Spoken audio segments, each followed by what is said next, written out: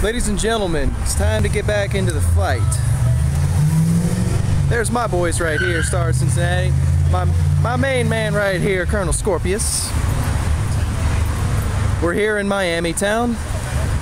And as you may have guessed, it is yours truly, Epsilon.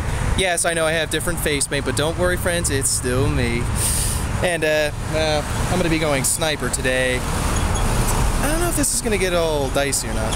What do you think, Mage? I think it'll work out just fine. All right, all right. As long as you have confidence, I'm a little sketchy myself. I always got confidence. All right, Never lose. all right. I like your attitude. All right, ladies and gentlemen, we're gonna be fighting here shortly. I guess we should be expecting incoming. So I'll be back later, as well as my friends, hopefully.